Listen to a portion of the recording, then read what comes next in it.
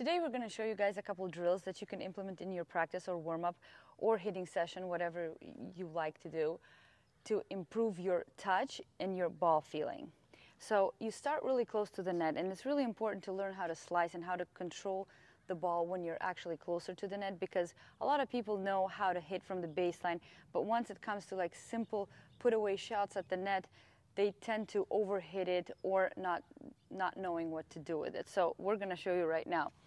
Go a little bit further. So when you start, you just start really close and you just practice your drop shots. You try to slice the ball. It's not as easy as it looks.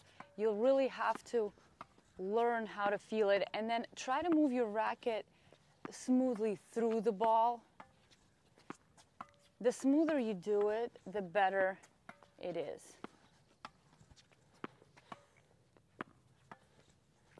If you can make the ball drop right behind the net, that's what you're aiming for. So you want the ball to go a little bit up and then down.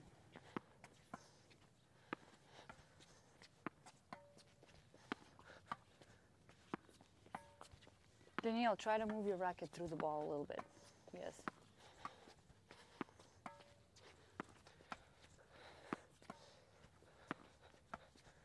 It is very important to change the directions and once you play it straight ahead, try to play along the net like cross court.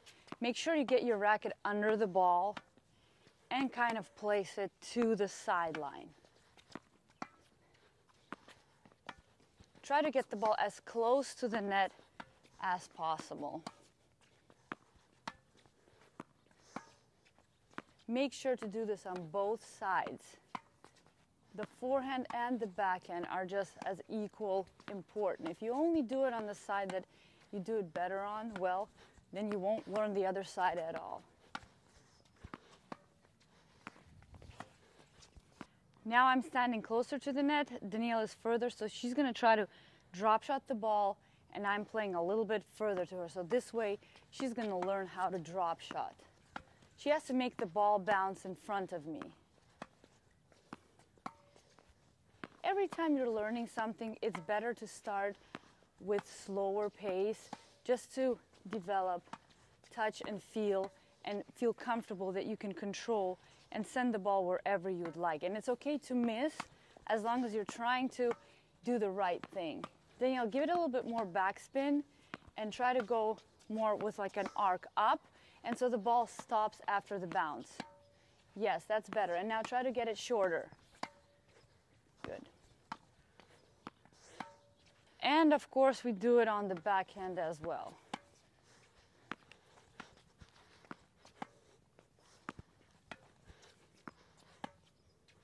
Once we warmed up our slices, now we're going to play a game with a little bit of movement to try to control and place the ball. We're not allowed to take the ball out of the air. We're allowed to take it only with a bounce and play slices only, so we cannot hit topspin and preferably this game is not about hitting hard and overpowering your opponent. It's about placing it and making them move. So that way you learn to control. That way you can make your idea come true when you actually play a match so that if you want to hit your target, you actually do it and not hit into the other direction. So let's see. So we put the ball on the net and then we start.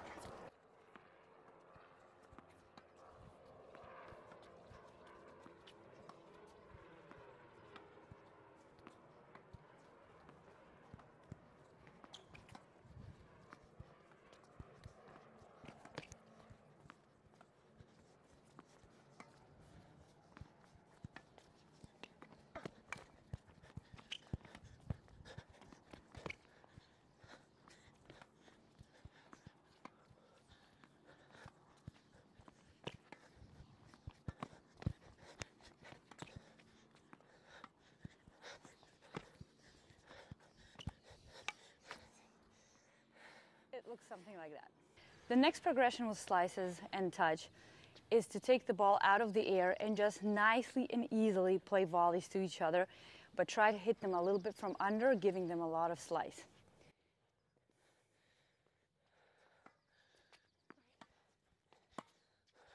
So we try to keep the ball low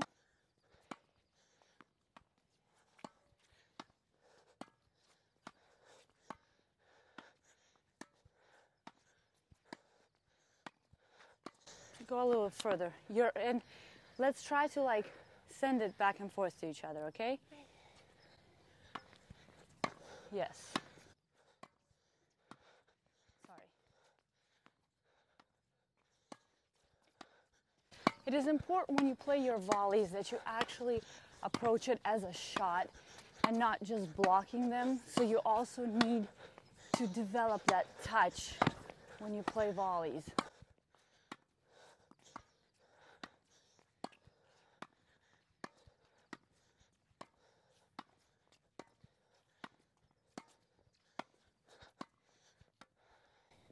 That way you will feel comfortable when you come and play to the net.